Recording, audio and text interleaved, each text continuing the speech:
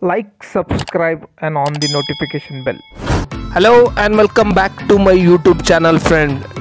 Targett gets the scores the own goal, scores the goal for Tottenham. You can see on screen, guys. Unfortunately, Aston Villa Targett gets the scores the own goal for Aston Villa. You can see on screen that image, guys. Tottenham is 2 and Aston Villa is 1. You can see on screen, guys. Unfortunately, Targett score a goal for Tottenham.